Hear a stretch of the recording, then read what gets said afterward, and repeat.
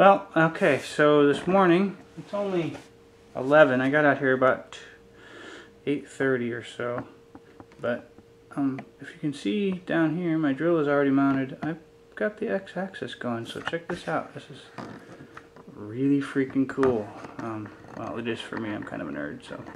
Anyway, here we go.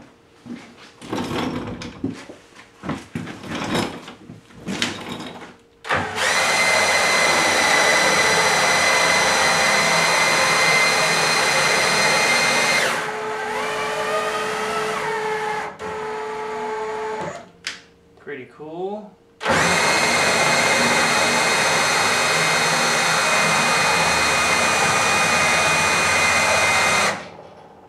don't know how fast that was, but it's fast enough for me.